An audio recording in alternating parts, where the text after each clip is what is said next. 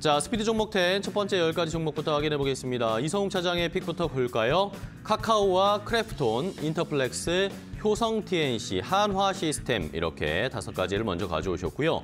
반정민 소장의 pick은 팅크웨어, 이노와이어리스, HPSP, 가비아, 퍼스텍 이렇게 10가지 종목을 준비해 주셨습니다. 시청자 여러분들은 이 10가지 종목 가운데 어떤 종목이 눈에 띄시나요?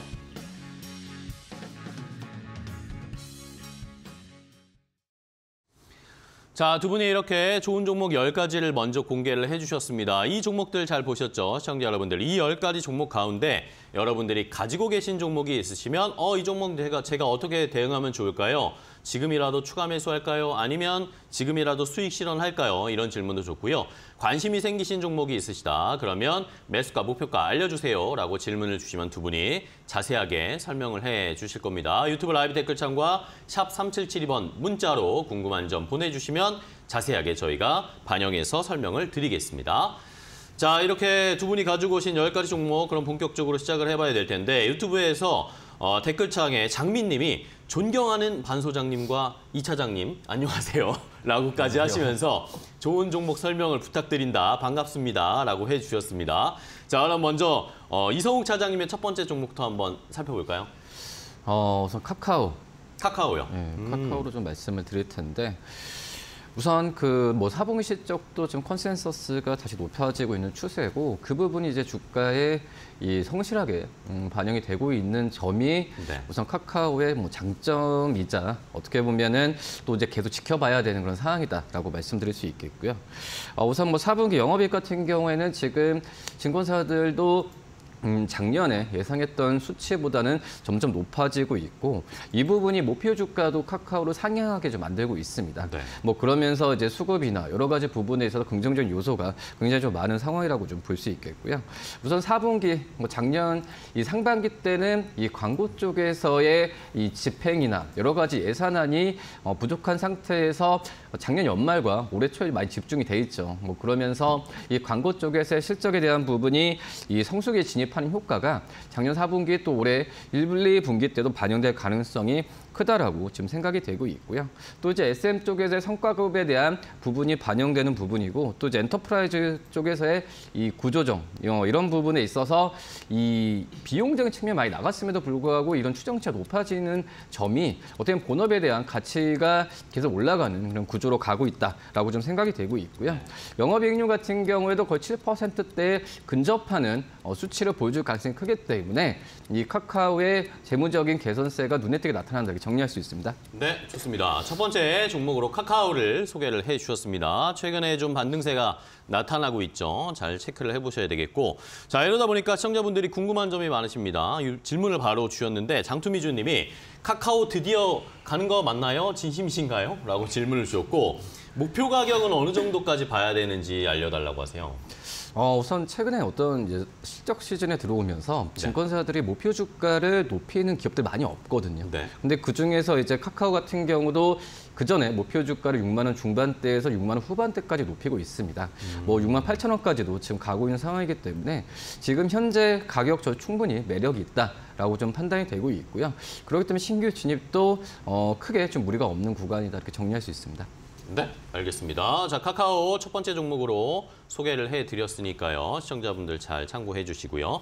자, 이번에는 어, 반종미 소장님의 첫 번째 종목입니다. 네, 팅크웨어고요. 팅크웨어. 이 팅크웨어는 차량용 블랙박스와 지도 사업을 좀 주요 사업으로 영위를 하고 네. 있는데 주요 상표로서는 그 아이나비 시리즈 등을 좀 보유를 하고 있습니다. 그리고 외적으로는 환경 가- 생활 가전도 좀 포함이 되어 있는데 특히 이 기업이 그 로봇이 좀 많이 잘 팔린다라는 것이 주요 포인트가 될 수 있겠다라는 말씀을 드리겠고요. 네. 특히 이제 동사의 경우에는 그 어, 현대차의 글로벌 소프트웨어 센터 그러니까 포티투닷이라는 기업이 있는데 이 연관성을 좀 체크를 하셔야 될 것 같습니다. 그래서 아직까지는 뭐 크게 부각을 받지는 못하고 있지만은 그 포티투닷의 그 주요 주주가 아이나비 시스템즈이고요. 네. 팅크웨어의 자회사가 아이나비 시스템즈이기 때문에 이 연관성을 계속 좀 체크를 해보실 필요는 있을 것 같다라는 말씀 드리겠습니다. 특히 이제 동사의 경우에는 그 로보락이라고 그 제품이 있는데 이게 지금 환경 생활가전 부분에서 작년에 누적 매출액이 1,300억 원 정도 나왔다고 합니다. 그만큼 잘 팔리 잘 팔렸다라는 얘기인데 저는 깜짝 놀랐습니다. 물론 이제 로봇 청소기 같은 건 없긴 하지만 어쨌든 이 네. 흐름들을 봤을 때는 올해 실적 그 4분기 실적도 충분히 기대를 해볼 수 있지 않을까라고 보고 있고요. 2022년보다 그 로봇 매출에 대해서도 로봇 청소기 매출에 대해서도 23% 증가를 했던 점을 봤을 때는 4분기 때 실적을 좀 더 더 기대를 해볼 수 있다라는 말씀 드립니다. 거기다가 이제 뭐 전체 매출의 한 49%를 차지할 정도기 때문에 4분기 때 좀 실적을 기대를 해볼 수 있는 것도 포인트가 될 수 있겠다라고 해서 지금 매수 관점으로도 좀 더 더 남아 있다라는 말씀 드리겠고 최근에 외, 외국인과 기관의 순매수가 들어왔던 점이 체크 포인트다라는 말씀 드립니다. 네, 알겠습니다. 팅크웨어 첫 번째 종목으로 반 소장님이 소개해 주셨고요. 자, 이번에는 이성웅 차장님의 두 번째 종목이 크래프톤 가져오셨죠. 질문이 또 들어왔습니다. 자, 유튜브에서 역시 장민님이 또 주셨는데 어, 크래프톤을 42만 원에 비중 2% 공모주 받으신 건데 이걸 아직 계속 가지고 계시다가 추가 매수를 많이 해서 어, 이걸 탈출을 하고 싶은데 어떻게 하면 좋을까요? 추가 매수를 할 수 있는 가격을 좀 알려주세요 라고 주셨습니다. 어, 그럼 매수가가 40만 원 이상의 가격이면은 어, 꽤 보유하신 지 오래 되신 그렇죠. 거라고 좀 생각이 되고 있는데요. 근데 우선 어, 이왕 어떻게 보면 좀 보유하신 김에 저는 좀 올해는 한번 좀 지켜보는 게 낫지 않을까라고 좀 생각이 되고 있고요. 지금 현재 뭐 4분기 때도 이 영업이익이 약간 추정치가 좀 내려갔긴 했지만 제가 본다고 했을 때도 이 크래프톤의 영업이익률이 거의 25% 가까이 나올 가능성이 크다라고 네. 좀 생각이 좀 되고 있고요. 뭐 4분기, 작년 4분기가 어, 비수기임에도 불구하고 이 배틀그라운드 쪽에서의 실적에 대한 부분이 거의 뭐 우리나라 쪽은 아니죠. 이 배틀그라운드 쪽의 그 매출이 해외 쪽에서 대부분 나오고 있는 상황이기 때문에 이 게임 업종 안에서 그래도 음, 영업이익이나 이런 흑자에 대한 부분에 있어서 꾸준하게 유지하는 기업들이 많이 없습니다. 그런 점에서 저는 크래프톤에 대해서 점수를 더 주고 있는 점이 이 게임 업종 안에서도 종목에 대한 슬림화가 시작돼야 되는 때에 이 크래프톤에 대한 부분이 어, top pick이 나온다고 한다면 그쪽에서의 유동성 부분은 어, 계속 몰릴 가능성이 있지 않을까라고 좀 생각이 되고 있고요. 그리고 이제 뭐 신규 쪽에서의 시- 그 게임에 대한 런칭에 대한 부분도 지켜봐야겠지만 지금 현재는 예정돼 있는 부분이 1, 2, 3분기 때도 어, 꾸준하게 지금 잘 잡히고 있는 그런 상황이기 때문에 어, 우선 기존의 배틀그라운드에 플러스 이제 신규 게임이라고 했으면 뭐 아케이드 모드나 여러 가지 서비스 쪽에서의 실적은 좋아질 가능성이 크다라고 좀 생각이 좀 되고 있고요. 특히 중요한 부분이 음, 이 해외 쪽에서 매출이 인도 쪽에서 많이 나오고 있죠. 인도 쪽도 스마트폰에 대한 보급률이 높아짐에 따라서 이 크래프톤의 배틀그라운드에 대한 접속이나 여러 가지 부분에서 눈에 띄게 나타나고 있기 때문에 크래프톤 어, 보유 관점 계속 말씀드리고 하겠습니다. 네, 알겠습니다. 크래프톤까지 자세하게 알려드렸으니까요. 장미님 잘 참고를 해주시면 되겠습니다. 자, 다음 종목 바로 갈게요, 반 소장님. 네, 이노와이어리스라는 이노라, 기업이 이노와이어리스. 네, 그렇습니다. 이동통신용 시험 장비 개발 제조 업체이긴 한데 특히 이제 무선망에 대해서 최적화 솔루션과 뭐 빅데이터 솔루션에 대해서도 어 시- 솔루션에 대해서 뭐 단말기 제조사에 좀 공급을 하고 있다 보시면 될 것 같고 네. 특히 이러한 형태를 봤을 때는 통신 장비로서 좀 판단하시고 6G 개념으로 보시는 게 제일 중요한 포인트다라는 말씀드립니다. 특히 이제 동사의 경우에는 5G small cell 수출이 4분기 때 집중되는 것을 좀 양상을 봤을 때 올해 그 영업이익에 대해서도 뭐 300억 이상 가능성을 좀 점치고 있는데 이거보다도 4분기 때 실적을 좀 기대를 해볼 수 있- 작년 4분기 때 실적을 좀 기대를 해볼 수 있을 것 같습니다. 그래서 이러한 실적적인 기대감이 아직까지 좀 남아 있기 때문에 4분기 때 좀 반영이 됐, 됐을 가능성이 좀 높지 않았나라고 좀 생각이 들고 있다 보니까 최근에 주가 흐름들이 그래서 좀 좋은 흐름들을 보여주고 있다라는 마- 말씀을 드릴 수 있을 것 같고요. 물론 이제 여기에 대해서 추가적인 모멘텀이 됐던 것은 뭐냐면은 삼성전자에서도 이제 6G에 대해서 관심이 굉장히 좀 많이 있고 많이 있습니다. 그렇다 보니까 는 지난 11일 기준으로부터 이제 주가가 크게 상승을 했는데 그 당시 때 이제 뭐 CES 2024가 있었고 추가적으로 여기에서 연계됐던 점을 좀 살펴보실 필요가 있는데요. 특히 이제 삼성전자 이, 이재용 회장이 CES 2024는 안 가고 6G를 살피기 위해서 삼성 리서치 센터를 좀 방문을 했습니다. 그게 이제 포인트가 될 수 있기 때문에 6G에 대해서는 좀 중장기적 관점으로 좀 계속 체크를 해보실 필요는 있을 것 같다라는 말씀 드리겠고요. 적은 비중으로 계속 좀 모아가는 전략이 필요하다라는 말씀 드립니다. 네, 알겠습니다. 이노와이어리스 종목들 차근차근 모아가는 전략 알려주셨고요. 자 이번에는 이송 차장님 다음 종목이요. 음, 인터플렉스. 인터플렉스. 어, 지난주도 그렇고 오늘도 지금 상승률이 좀 크게 나와주고 있습니다. 이 갤럭시 링에 대한 부분에 있어서 그 전에 이제 인터플렉스는 약간의 좀 애플 쪽에서의 관련주로서 많이 부각이 되고 있지만 이 언팩 행사에서 갤럭시 링에 대한 얘기가 어, 나와주면서 인터플렉스에 대한 뭐 PCB나 이쪽에서의 그 메인 기판에 대한 이 공급에 대한 관심이 많이 높은 그런 상황이라고 좀 볼 수 있겠고요. 그만큼 이제 이 갤럭시도 그렇고 뭐 아이폰도 그렇고 이 신규 어떤 제품과 이거에 대한 어떤 세분화가 진행됐을 때 PCB에 대한 수요 부분은 계속 늘어날 가능성이 크기 때문에 인터플렉스 뭐 이 PCB 쪽에서의 시장 점유율도 그렇고 저는 이제 인터플렉스에 대한 수요 부분은 지금 현재 어 뉴스에서도 그렇고 계속 유동성이 몰릴 가능성이 크지 않을까라고 좀 생각이 되고 있고 근데 오늘 좀 약간 음, 또 갭의 갭 이상으로 좀 출발을 했죠. 그렇기 때문에 어떤 신규 진입보다도 저는 기존 보유자 관점에서 이 보유 관점을 좀 말씀을 드리도록 하겠고요. 네. 이 삼성전자의 MX 부분 쪽 같은 경우에는 향후에도 지금 그 신제품에 대한 어, 수요 그 수요에 대한 어, 이런 니즈가 많이 굉장히 강하다고 생각이 되고 있습니다.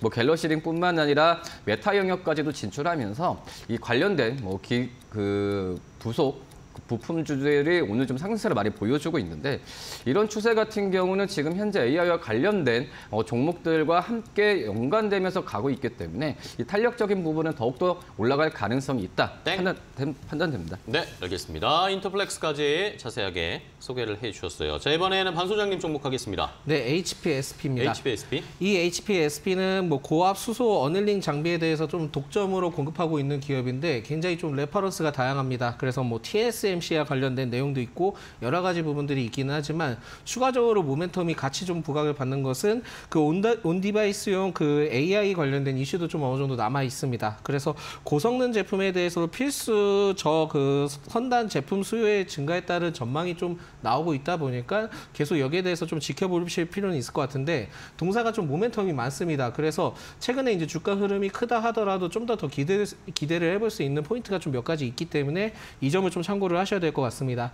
특히 이제 2024년 그러니까 올해죠. 올해의 경우에는 신규 고객향 매출 발생과 파운드리 수주에 대한 기대감이 아직까지 좀 남아 있고 심지어 그 동탄 신공장에 따른 capa가 늘어나게 된다 하면은 동사의 경우에는 매출도 늘어나지만은 기존에 이제 매출에 대해서 영업 이익률이 거의 40에서 50% 되다 보니까 충분히 그 실적에 대한 기대감이 남아 있다라고 보시면 될 것 같고요.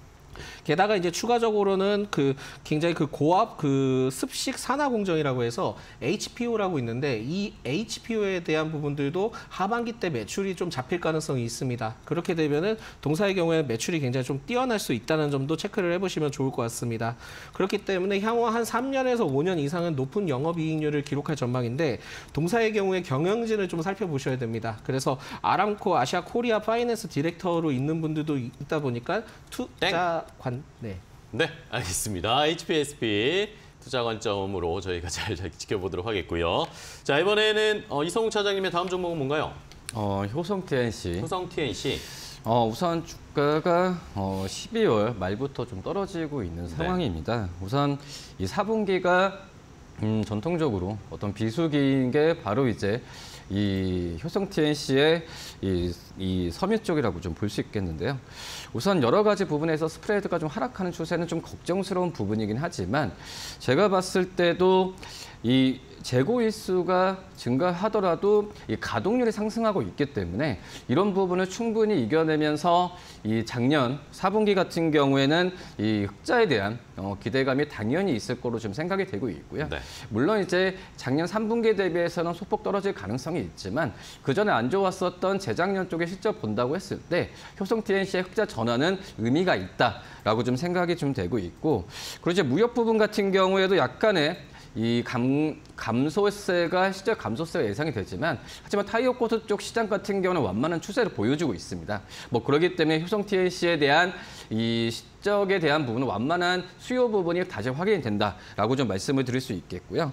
그리고 이제 올해 상분 3분기 내 그전에 이 베트남 쪽에서의 공장 건설에 대한 비용이나 이런 측면에 대한 우려 부분이 나왔지만 이제 올해 상반기 때는 이런 부분이 마무리되는 시점으로 가고 있기 때문에 이 효성 TNC에 대한 이 올해 상반기보다도 올해 하반기 실적을 대비하면은 이 12월 중순부터 떨어진 주가 수준에서는 저는 매수 관점으로 한번 접근해도 무리가 없지 않나 이렇게 판단됩니다. 네, 알겠습니다. 효성 TNC까지 자세하게 설명을 들어봤습니다. 자, 이번에는 반 소장님의 다음 종목은 뭘까요? 네, 가비아입니다. 가비아. 이 가비아는 신규 투자로 보기보다는 기존에 좀 보유하셨던 분들은 좀 더더 가져가시길 희망을 드린다라는 말씀 드리겠고 동사의 경우에는 인터넷 인프라 서비스 업체이긴 한데요. 특히 어, 기업들 대상으로 좀 많이 진행을 하고 있습니다. 그러면서 이제 클라우드 서비스적인 부분들이 있기는 한데 이 클라우드 시장에 대해서 계속 좀 앞으로 주목을 하시는 게 매우 포인트가 되지 않을까라고 볼수 있을 것 같거든요.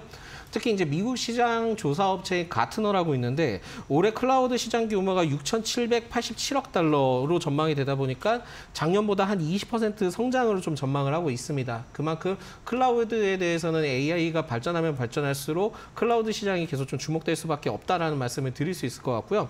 특히 심지어 최근에는 뭐 서버 등의 하드웨어 프로그램보다는 빌려 쓰는 기업들이 많이 늘어나고 있습니다. 그러다 보니까 클라우드 쪽에 계속 좀 성장할 수밖에 없는 상황이다라는 말씀 드립니다.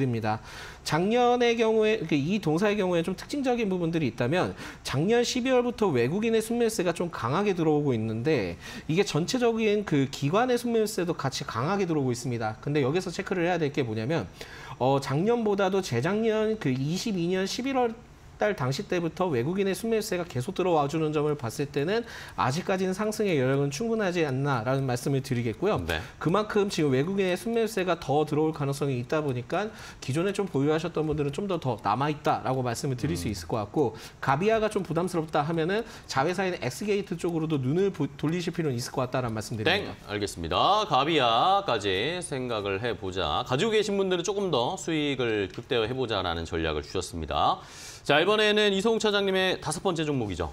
음, 하나 시스템 하나 시스템.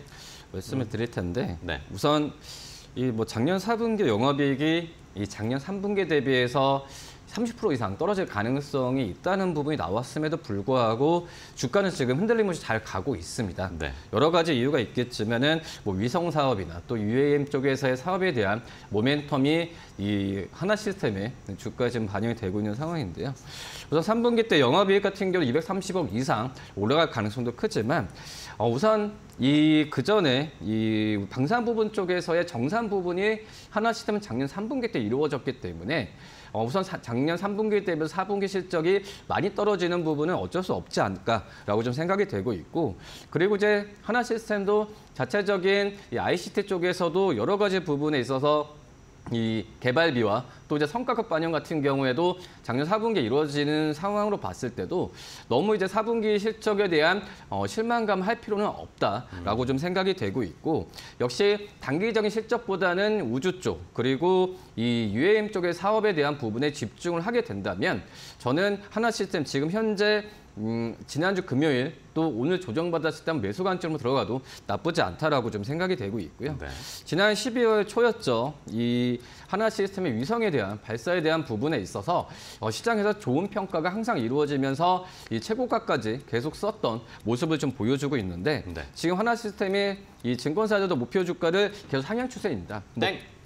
네, 네. 알겠습니다. 자, 목표 주가 상향 추세이다라는 것까지 마지막에 알려주셨고요. 자, 이번에는 어, 반 소장님의 다섯 번째는 뭐죠? 네, 퍼스텍이고요. 퍼스텍. 이 퍼스텍은 방위산업 전문 업체인데 네. 그 항공 우주 그리고 뭐 유도 및 지상 무기 등을 통해서 방위 사업을 좀 영위를 하고 있습니다. 근데 이제 뭐 3분기 때 기준으로 좀 봤을 때는 생산 능력 및 그 가동률이 전년 동기 대비 한 10% 이상 증가한 것으로 좀 알려져 있다 보니까 앞으로 좀 주목을 해볼 필요가 있지 않나라고 볼 수 있을 것 같고요. 방산과 관련된 부분에 대해서도 정부 정책 그 수에 따라 해외 진출도 좀 확대하려는 모습들을 좀 보이고 있다 합니다. 그래서 추후에는 실적에 대한 내용들이나 여러 가지 좀 살펴볼 필요는 있겠지만은 기대는 된다. 그렇지만은 결국은 그 북한과 관련된 이슈 때문에 부각되는 기업이기 때문에 이 부분에 대해서는 좀 체크를 해보실 필요는 있을 것 같다는 말씀 드립니다. 특히 이제 뭐 지난 15일에 그 김정은 국무위원장이 평양에서 열린 최고 인민회의에 대해서도 시장 연설에서 그 영토 조항을 반영해서 헌법을 뭐 개정한다는 뭐 얘기가 나왔다 보니까 그걸 통해서 부정적인 이슈들이 좀 나오긴 했습니다. 그러면서 최근에 이제 일시적으로 좀 상승하긴 했는데 최근에 이제 조정 상태지만은 저 북한과 관련된 지정학적 리스크는 좀더더 남아 있다라고 보시면 좋을 것 같고요. 네. 그래서 추가적인 조정이 나왔을 때는 그래도 적은 비중으로 매수는 좀 가능할 것 같다라는 말씀 드립니다. 그리고 뭐 동북아 핵전쟁 관련된 내용도 나와 있기는 하지만은 어, 저는 이거에 대해서 그게 그렇게 크게 고려할 사항은 아닌 것 같습니다. 그렇기 때문에 일단 이슈는 이슈지만 은 그러한 뭐 부정적인 이슈는 그렇게 너무 걱정하지 말자라는 말씀 드리겠고요. 거기다 뭐 총선 시점이라는 것도 포인트긴 하지만은 푸틴이 방북 가능성을 좀 예측을 하고 있다 보니까 이 점도 체크하시면 땡. 좋을 것 같습니다. 알겠습니다. 퍼스트까지 방산주 지정학적 리스크에 따른 단기적인 수익 한번 기대를 해보겠습니다. 자 이렇게 두 분이 다섯 개 다섯 개 열 가지 종목을 알려주셨습니다. 저희가 이렇게 전해드리는 방송 내용은요 시청자 여러분들의 투자에 참고가 되는 내용을 알려드리는 겁니다. 최종 투자 판단과 결정은 시청자 여러분들께서 직접 내려주셔야 한다는 것은 다시 한번 강조를 드리겠고요. 자, 그럼 앞서 소개해드린 10가지 종목 못 보신 분들 있으실 수 있으니까 정리 좀 해드리고 시장 상황은 어떻게 흘러가고 있을까요? 체크하고 금방 돌아오겠습니다.